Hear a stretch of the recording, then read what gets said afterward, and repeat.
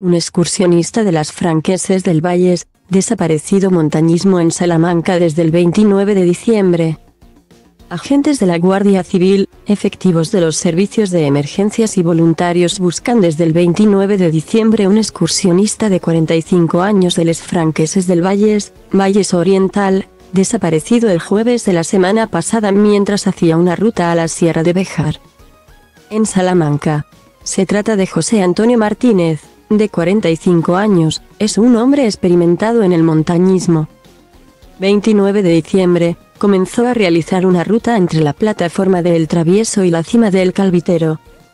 A unos 2, 400 metros de altura que se encuentra en el punto limítrofe entre Castilla y León y Extremadura.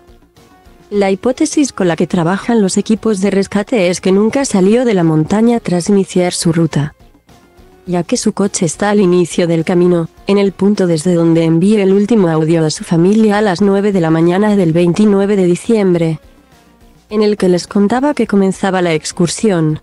Este sábado, según fuentes de la Guardia Civil, ha tenido que suspenderse el dispositivo de búsqueda debido a la niebla baja, el fuerte viento y la previsión de fuertes lluvias.